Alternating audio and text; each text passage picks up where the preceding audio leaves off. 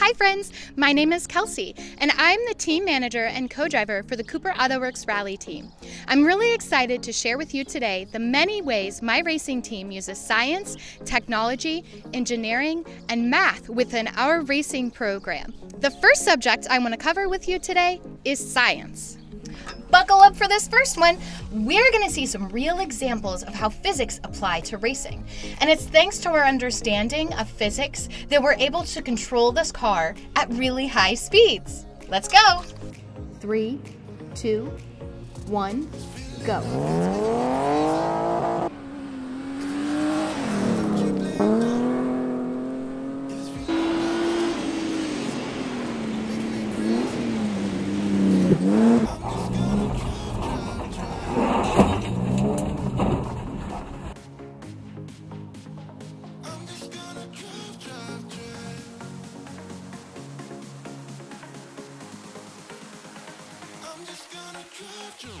What does this stack of tires, this can of gas, and this jug of oil have in common?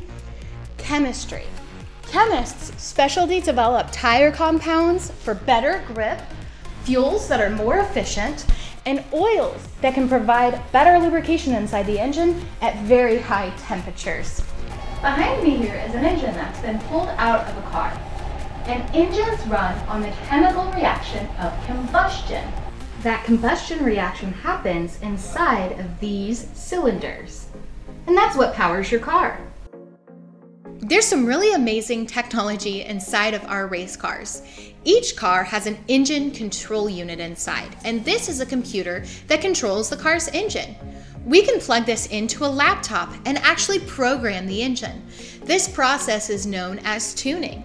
And once we're done tuning a car, we can actually test its performance on a dynamometer. A dynamometer measures how much horsepower and torque a car produces. Engineering covers the design and building of structures, engines, and machines. And if we think about it, a car is a machine with an engine. And inside, there's a very important structure. That's the roll cage. Engineers use their understanding of math and science and apply it to the things they build. A roll cage is a great example of engineering because it requires an understanding of both physics and geometry in order to build a structure out of metal tubing that can distribute the forces of a crash. We're back at my computer desk to talk about the subject of math. Now, when I was your age, I didn't much care for the subject of math and I didn't think that I was very good at it. But once I got older and learned how math applied to racing, well, I figured out that I actually love the subject and I'm really good at it. The formula that I use the most is the time, speed, distance formula. I use this formula a lot to calculate how fast we went down a stage or to figure out how long it's going to take us to drive a certain number of miles so that we can arrive everywhere we need to be on time.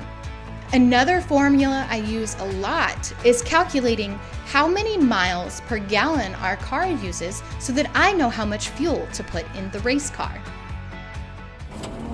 I hope you had as much fun as I did learning about how important science, technology, engineering, and math are in the field of motorsports.